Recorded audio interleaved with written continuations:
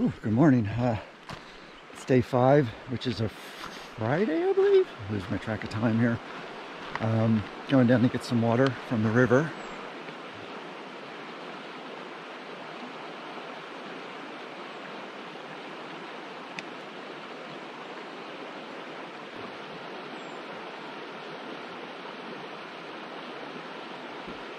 Seems to be my routine where I get up a little bit after six, maybe 6.30.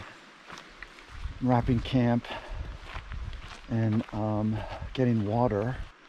Pretty much packed up. I'll have to look at my phone and see what time it is, but I think it was 8.38 when I went down to go get the water. Just left camp Friday. I think I'm getting close to uh, mile 16 hot spring. Uh, rather cold, 47 degrees. I can see the sun over there. I'm waiting for me to get in the sun, but I'm still in this canyon here. But yeah, pretty, uh, pretty nice.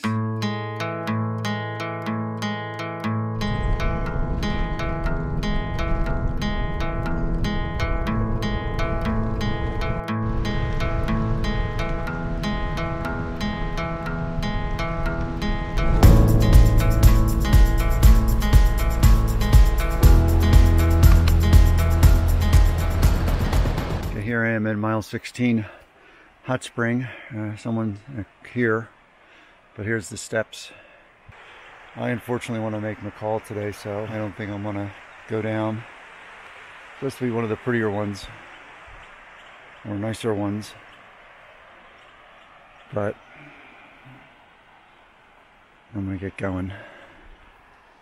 One of the construction workers when I left yesterday told me I was gonna have some rough road this must be all the stuff they have to repair.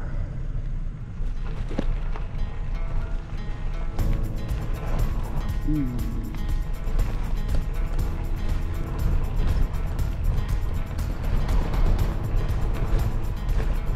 I think I'll figure out what I want to do once I get to Ponderosa.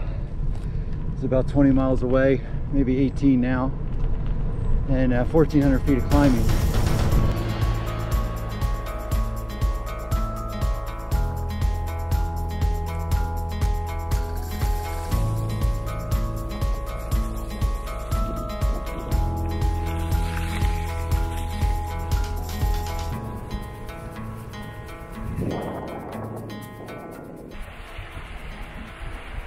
Just past Buckhorn Trailhead, coming up on Buckhorn Campground, I would think.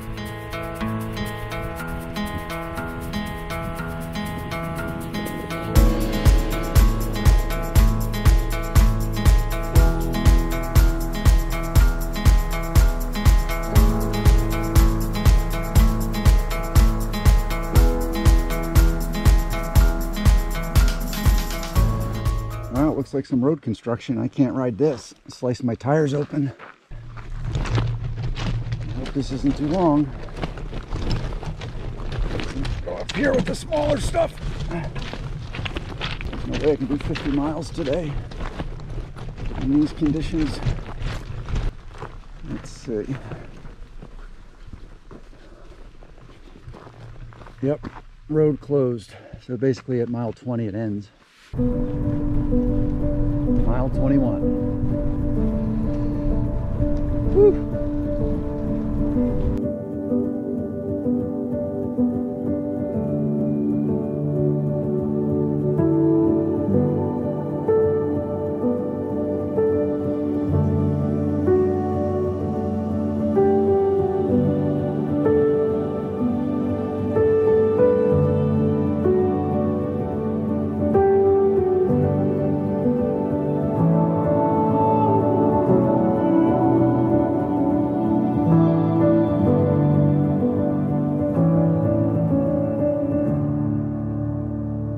Think I'm gonna go for at least the campground outside of McCall.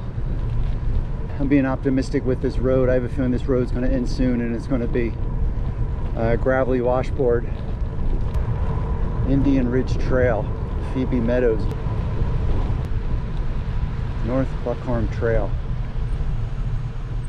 Cressel Knob. North Fork Buckhorn Trail or Creek. Mail delivery. Work center. Oh, I see. Another one of these work centers where they station the, the forestry service. I'd love to know when all these different forest fires were. There's not really much growth here, so I don't know how old this one is. One mile to East Fork Road, it says. I think that's where I turn. So I am at East Fork Road, McCall 32 Yellow Pine.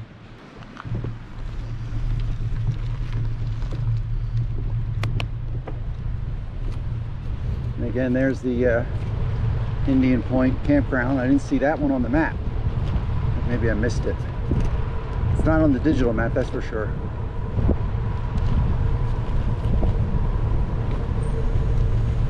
There's the end of my pavement. I can handle this if it's not washboardy. But if it's washboardy, it's gonna suck. It's called Lick Creek Road now, I believe. I'm at Ponderosa and I have climbed, not much. Let's see, I've only, well, a thousand feet. I have like 4,900. Um, I'm at 4,000 feet. Uh, I think the plan is to power through, depending how bad the road is. Um, it's been getting a little bit more washboardy after I turned onto uh, Lick East, oh, East Fork Road, and then that became Lick Creek Road, I believe. And uh, you don't need to see me eat like Bike Touring Mike or Bicycle Tour Pro. I won't put you through that. Do the digital map. I recommend getting both. This paper map's great for when you're doing the research and you want to look at it at the end of the day, but this digital map, which I've downloaded and just put you on the map GPS, is uh, on the route GPS wise, is quite, you know, is priceless to me. And can, like right now, I can just pick a point, put a pin in, and where I want to go, and then put a pin in where I am or where I want to get a marker from or distance, and it will calculate the distance and the grade yesterday was day four and that was my first time in a U.S. forestry uh, campground and I've been near water every night except for the first night when I came down off of uh, Galena Summit. I dropped down into that prairie because the next morning I got my water. I wasn't too far away from the water so I've always been near water and I can hear it right now. It's just that I'm above it. I hear streams on my right coming down you know little waterfalls whatever you want to call it streams I guess that feed into the, the river below me you know getting to it may be a challenge. So I filled up at the Ponderosa campground. You know you tend not to look up but look at that sheer rock. I mean and there's pine trees up there. I don't know if you can see it but I am at 5,500 feet four more miles to go to uh, this climb, which I assume is the summit, but I just want to show you how bad the smoke is. The sun is out now. Um, there's the sun. And it's, what, close to 4 o'clock. And there's the valley. You can even see. That's how bad the air is just over two miles from the summit, I believe. And there's just all these rocks.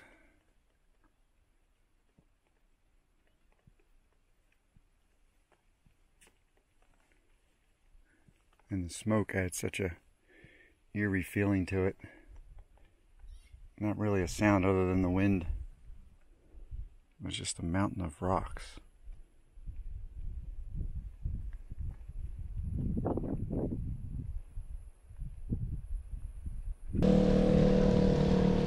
Ah, this is it.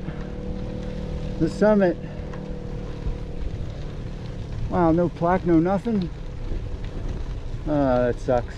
But I did uh, see a couple guys coming up. They were just doing like a weekend trip from Cascade or McCall to uh, Warm Lake.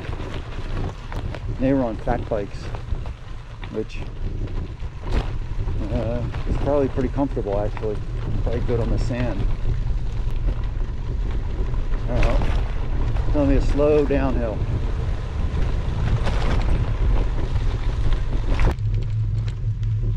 I'm on my way to Lake Fork campground for the night. Two tenths of a mile off the road. I hope they have room. It is Friday. Open. Okay.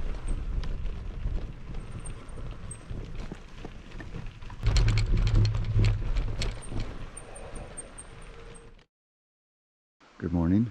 It's uh, Saturday. Yeah, here I am at Lake Fork Campground. Uh, got in a little after 6 last night.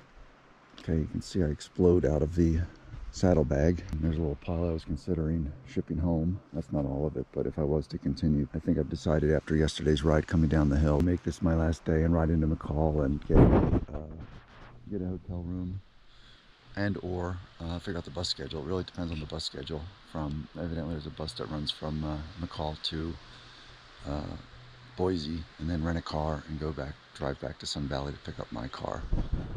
So I'm about 10 miles out. This is Lake Fork Campground. Um, it was $10 a night to camp here. So that's what I'm going to do. I'm going to ride into town 10 miles and figure out uh, what the plan is from here.